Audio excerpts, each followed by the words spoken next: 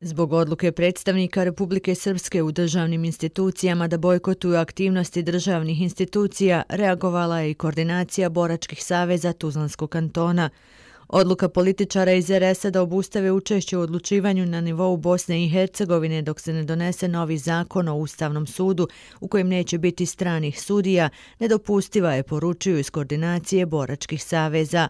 Mislim da još uvijek mi nismo na stadiju tom koji zadovoljava jedan pravilan i pravedan odnos prema Bosni i Hercegovini, pa stoga na neki način još uvijek Bosni je potreban taj patronat, odnosno taj, taj nadzor provedbe određenih akata i zaštite države Bosne i Hercegovine. Povod za ovakav potez političara iz RS-a je nedavna odluka Ustavnog suda Bosne i Hercegovine da proglasi neustavnim član zakona o poljoprivrednom zemljištu RS-a, kojim je propisano da poljoprivredno zemljište koje je javno dobro, odnosno državno vlasništvo, po sili zakona postaje vlasništvo i posjed Srpske.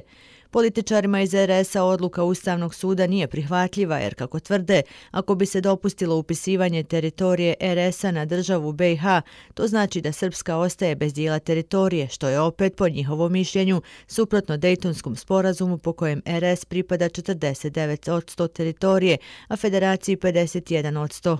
RS Dejton voli onda kada njima ide u korist, poručuju iz Saveza.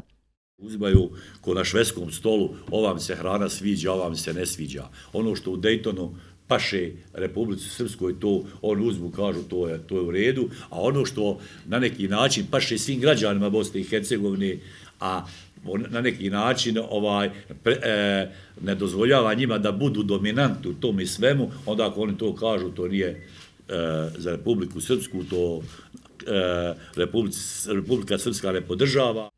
Koordinacija Boračkih saveza Tuzlanskog kantona stava je da visoki predstavnik u Bosni i Hercegovini kao i Ustavni sud naše zemlje moraju koristiti svoja ovlaštenja te da sve one akte koji su usmjereni prema rušenju ove države sankcionišu odmah.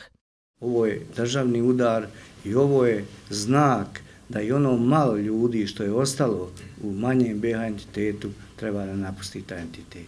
Treba i natjerat neko da on to poštuju. Ako taj neko je evo, visoki predstavnik, ako neće da radi svoj posao, onda treba da kaže ja to ne mogu, neću, nek neko drugi to radi. Zaključak svih parlamentarnih stranaka iz RS-a koje djeluju i u zajedničkim institucijama Bosne i Hercegovine u praksi će značiti da parlament Bosne i Hercegovine, vijeće ministara Bosne i Hercegovine i predsjedništvo Bosne i Hercegovine neće moći da donesu nijednu odluku, a također će doći i do obustave međunarodne pomoći.